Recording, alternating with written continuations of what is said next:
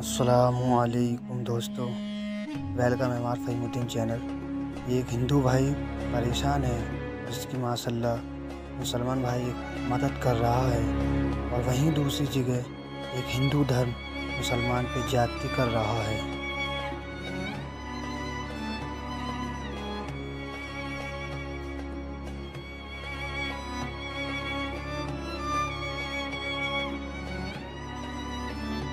ये लोग मस्जिद के सामने जय श्री राम का नारा लगा रहे हैं। वहीं मस्जिदों में तोड़ा जा रहा है, वहीं मदरसों में आग।